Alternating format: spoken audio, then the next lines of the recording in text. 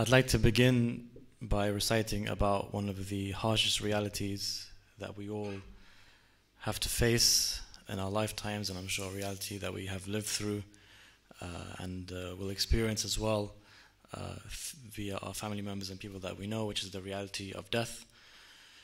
And the moments that we are lowered into the grave and seek the intercession of the beloved Ahl Bayt including Our Lady Fatima Zahra For what salvation does man have when he stands in the hereafter if he does not receive a glance from Fatima Zahra? When I'm lowered into my grave and all my loved ones disappear, the sins that once brought me pleasure, now they bring me only despair. I can feel the ground tighten, whilst my lungs feel the lack of air. I see not, there's only darkness, only the void and gripping fear. How can I ever save myself from Munkar and from Nakir? How can I ever save myself from Munkar and from Nakir when I couldn't even restrain myself when Shaitan whispered in my ear, Dead, in dead silence, only the moving of the earth I can hear. I hope in Allah's mercy, but I feel that His justice is near. How weighty were my sins that they may tip my scale of deeds. I cry out in fear in my grave, and yet not a single soul heeds. No friends, no family, no children to rescue me in my time of need. Even the joy that was once air, I can no longer enjoy to breathe. Every day, hour, and second lived are roads that to my grave lead. The only thing left worth counting are the prayers upon my prayer beads. What hope is there for me who with his actions hadn't believed? What hope is there for me if my beloved does not intercede? Oh Allah, protect me from that first night I spend in the grave. How apt is it that the master is feared so much by his slave?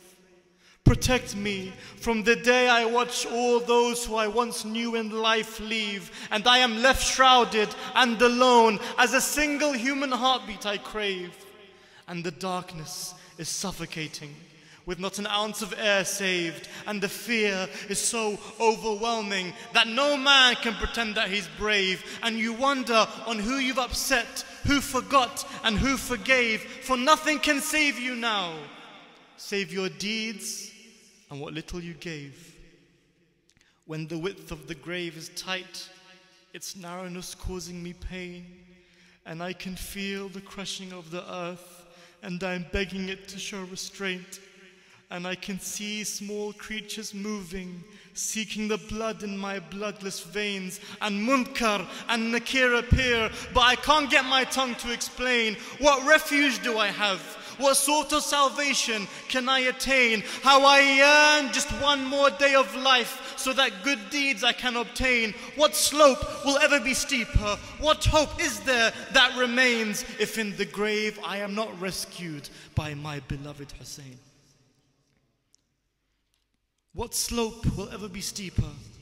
What hope is there that remains if in the grave I am not rescued by my beloved Hussein? And though my tongue refuses to move, from my soul I'll plead dearly. The same way I visited your grave, in my grave, please visit me. Here, crushed by the dust, how I, meant, how I missed the scent of Karbala's dust so terribly. For when this world crushed me in life, it was in your shrine that I found relief. And when you come, don't come alone. Bring Abbas and his chivalry. For never have I cried out, Ya Abu Fadl, and not be saved immediately. Together, soothe my soul and ease the infliction on my body. For indeed, Allah is merciful and indeed you are that mercy.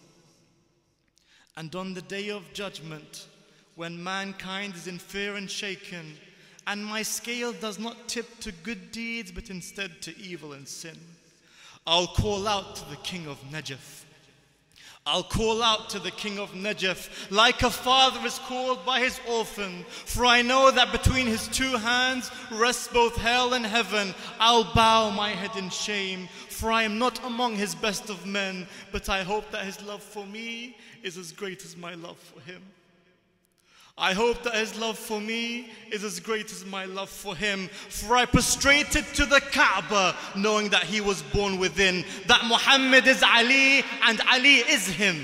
No doubt and no question. In every moment of strife, a man calls out for his mother. And on this journey of death, I'll yearn the rescue of Fatima, for it is she that is heaven, and heaven can be no other, and the pleasure of Fatima is indeed Allah's pleasure. I hope that she notices me. I hope that she notices me because I have no worth without her. And if she turns away from me, no hell would be a greater torture. For every man yearns something, and every heart chases its desire. And I pray that I yearn no more than a glance from Fatima to Zahra. It may be that we have good deeds, but our sins are abundant. And to the facade that is this world, we have no detachment. The flesh of brothers in our teeth makes our good deeds redundant, and for those who forsake their prayer is no salvation, only torment. There is no hope for us sinners on the day of judgment, which is why at the door of Fatima we bow down as servants. Because if the Queen of Women notices us even for just a moment, then perhaps on Judgment Day we can say we were triumphant. Then perhaps on Judgment Day, we can say we were triumphant.